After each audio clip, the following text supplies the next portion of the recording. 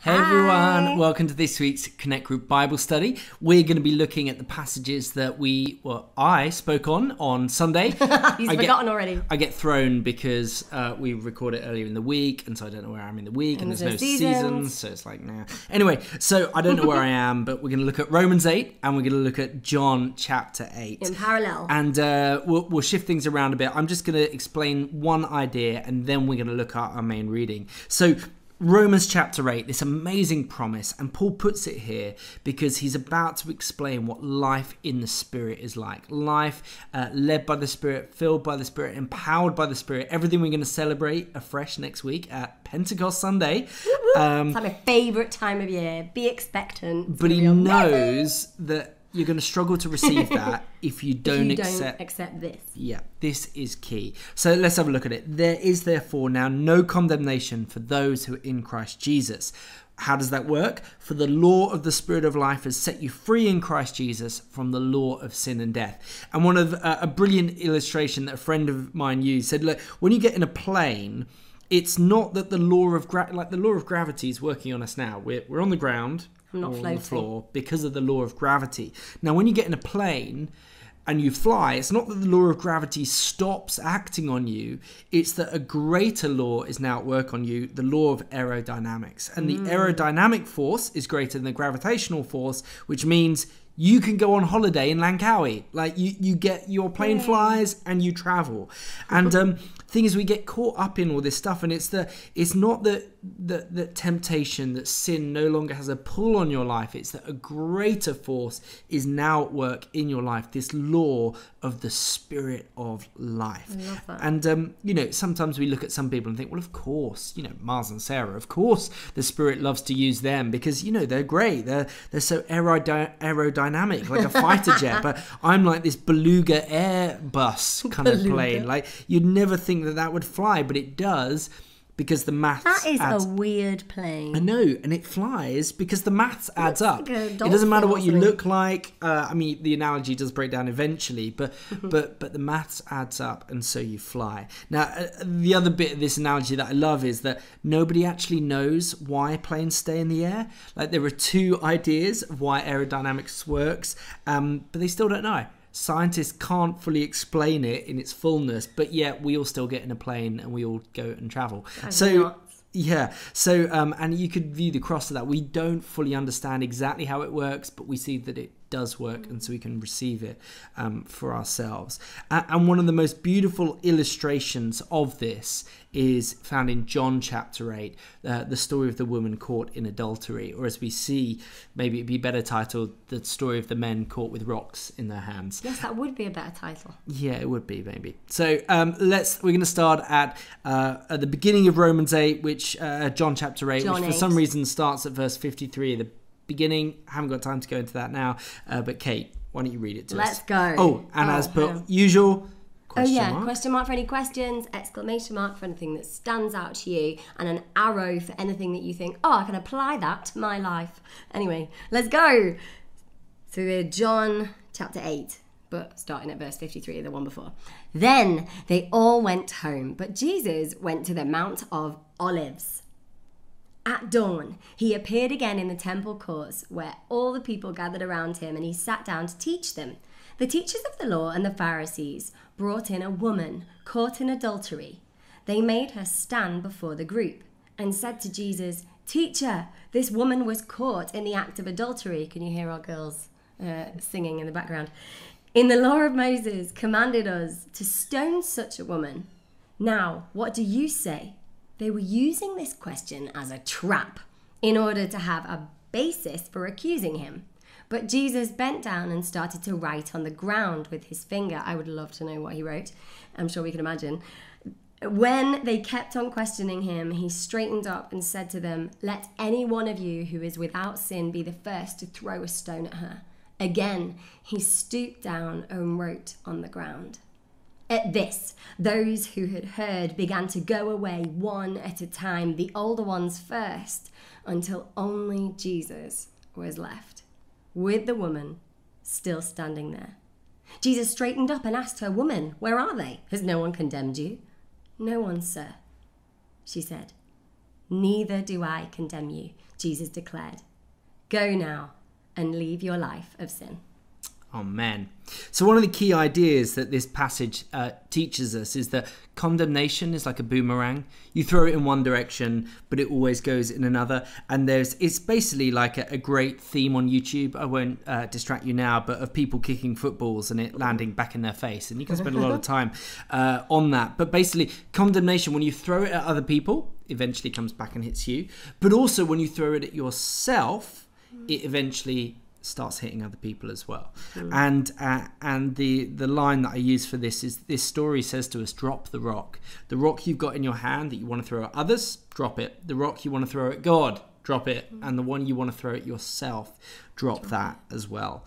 And Which can um, be hard we're not which yeah. can be really hard and we're yeah. gonna we're gonna look at a bit how that works so let's look at the first bit so jesus uh, is they're, they're, trying to catch him out uh, the the religious leaders and they're trying to catch him out because they think he's going to take away their power they think we've got power he's going to take it jesus is a spoil sport so he's going to ruin my life which is probably we can all identify with that so they're trying to catch him out uh, and so that they can accuse him and so the teachers of the law and the Pharisees brought a woman caught in adultery. Now, it's really helpful here if you can forget that you know the end of the story. If you forget that you know the end, there's so much drama. It's like, mm. is the woman going to get convicted? Is the woman, Jesus, going to be condemned? Is the leaders going to get condemned?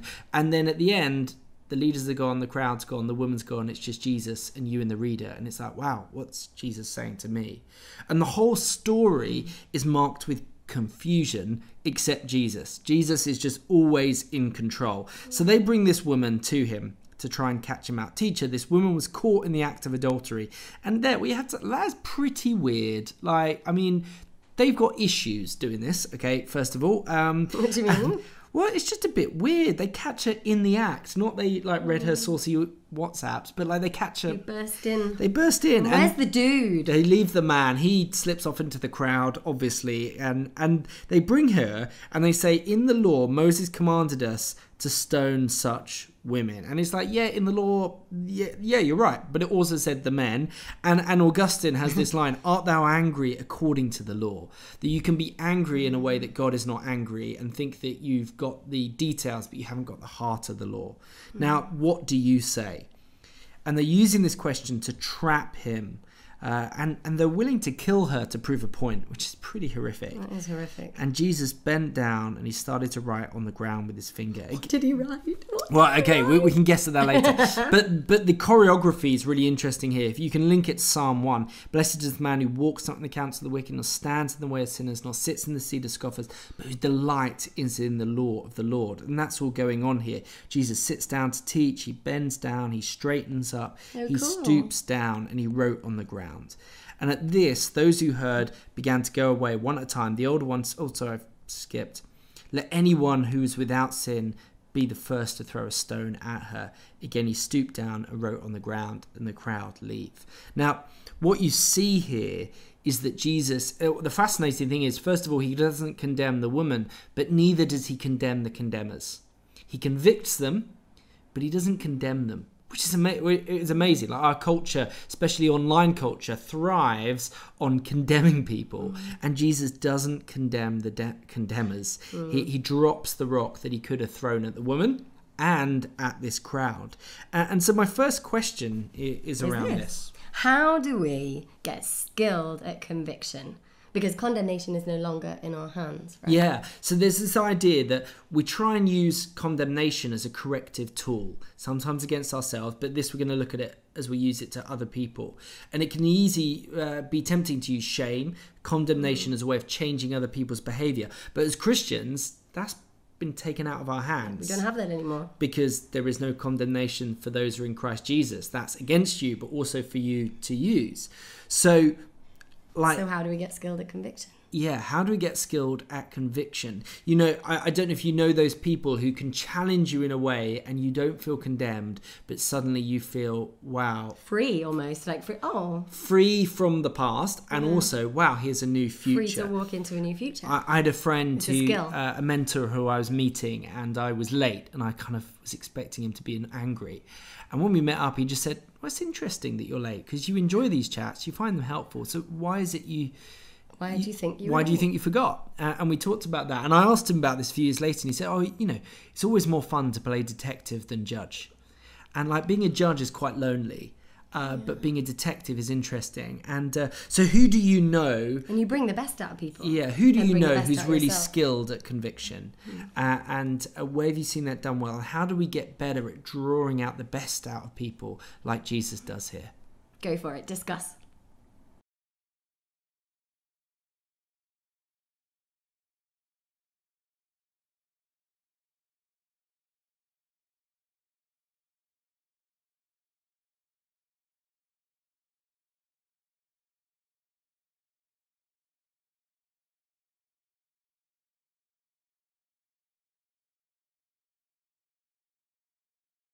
So the first rock that we drop is the rock that we'd like to throw at other people. Now let's look at the rock that we're tempted to throw at ourselves.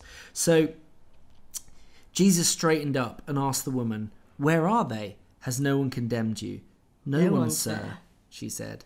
Hmm. Neither do I condemn you, Jesus declared. Go now and leave your life of sin. And here, what we see is the stark contrast that condemnation brings death. They want to stone her, literally. Conviction and brings conviction life. brings life. Go, leave your life of sin, uh, and go and go into your new future. Um, and sometimes I think we want to condemn ourselves. Now, why do we do that? I think. Why um, do we do that? someti- we can be our harshest critic, yeah, can't some, we? sometimes I think we deserve it. But as we've seen, it's beside the point. This woman deserved it, as did the man, but she deserved to be condemned. Uh, but it's beside the point. She is a homewrecker. She's brought death into her life and into her family's life, as has the man again. Um, and Jesus goes into bat to defend her. So it doesn't matter what you've done, Jesus is your advocate, is your defender. And the reason he does that is because he knows that feeling condemned won't change your behavior. What will change your behavior is knowing that every time you sin, you have an advocate in heaven who says to the Father, Don't worry, I've got this covered. You forgive Who's him. cheerleading for you He's to do cheer- better? Yeah, he's cheerleading for you. So we think we deserve it. I think sometimes we think if I condemn myself, other people won't. Oh, I think that's one way. Um, there's a great line, very niche comedy, Blackadder from uh, the BBC. you're gonna play it or read it? No, uh, there's this moment where Baldrick, which is like his stupid sidekick, he's like, "What are you doing?" He's like, "I'm carving something on my bullet." What are you carving? I'm carving Baldrick. Uh, why? It's part of a cunning plan. You know how they say somewhere there's a bullet with your name on it? Yes. Well, I thought if I owned the bullet with a name on it, I'll never get hit by it because I'll never shoot myself. Um, and there's that sense of like, oh, if I condemn myself, then others won't be able to. Now, the problem with that is what you throw at yourself eventually comes out at others. There's a great line of never speak to yourself in a way that you wouldn't speak to a best friend. Dan says this to me a lot. Yeah, because sometimes like people are so harsh on themselves. You're like, if your best friend came to you and just listed what you've listed, you would not be saying you need to buck up your ideas, did it? You'd be like, go Be easy on to yourself. Be kind to yourself. Have a bath, eat some chocolate. Yeah, and uh, and have a go again tomorrow. Um, and I think the, the the problem with all of that is that it's this internal dialogue that says God doesn't like me, God has condemned me, and what we see here is Jesus could have thrown the rock, but he's dropped the rock that he could have thrown at you, and therefore you should probably drop the rock that you want to condemn yourself with uh, as well. An even better rule of thumb of not speaking to yourself like you wouldn't speak to a friend is never speak to yourself in a way that Jesus wouldn't speak to you. In Isaiah, we're told, "A bruised reed he will not break, a smouldering wick he he will not um, uh, snuff out." Yet he speaks directly. Conviction can be painful because, but it's it's a it's like a violence that brings life, like a surgeon's knife. It's, it's not a, a vague cloud of condemnation says you were never any good, you'll never be any good, and you are no good. And it's just all encompassing. Whereas conviction says this, This is specific thing. this specific thing is broken and this is is the way out and jesus says i will help you in it um, as to what was written in the sand miles has a theory uh, what's he writing we don't know is the main thing but in jeremiah it says um, those who turn away from you shall be written in the dust, for they have forsaken the Lord, the fountain of living water. In the previous chapter in John, Jesus has called himself the living water. So is he writing the name of the people in the crowd? Some people would say he's writing the sins of the people in the crowd, and he's kind of a link to uh, the stone tablets with the Ten Commandments on that were inscribed by the finger of God in stone, and he's now putting it in dust as a, link to Revelation there. But we don't really know. But he's one thing he, we definitely know is he's not reacting; he's responding, and he's taking his time. Uh, and I think that's one of the things here. So often condemnation is urgent. We need to make a decision now. Da, da, da. And Jesus just slows the ball. He takes his time. Slows He's everything owning down. everything down. Uh, and I think whenever you feel convicted of a sin, that's the time to slow things down, spend time with Jesus, talk to other people about it as well. Bring other people, other voices in. Because one of the things, one of the reasons we need the Holy Spirit as we read the Bible is you can't read Jesus's tone here.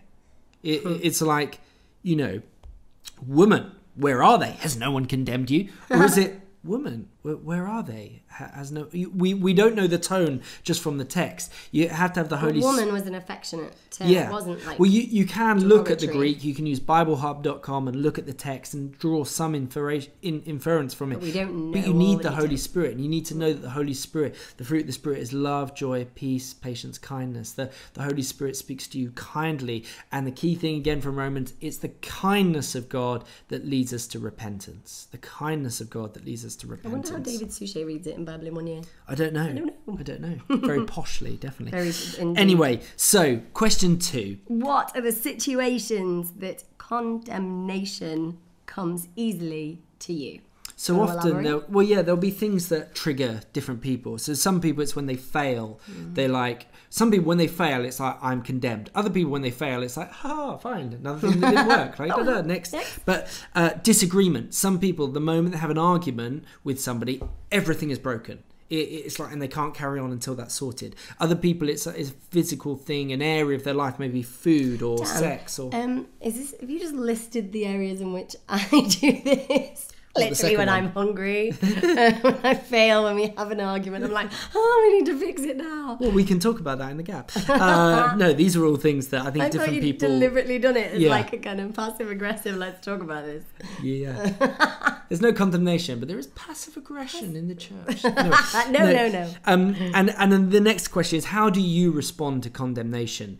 Uh, some of us have learned and are in different stages of our journey. Some of us have, you know, because when you're condemned, often you go to the things that bring comfort and give you a sense of control as well. And actually, that's why Jesus doesn't use condemnation because he wants you to come to him.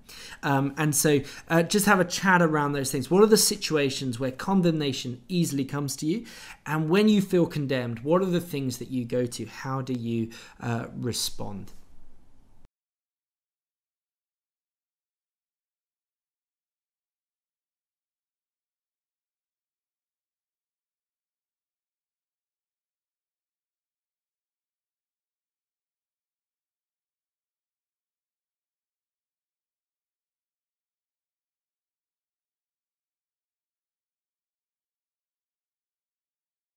Okay, so we, well we've now had that chat where we've resolved all our issues.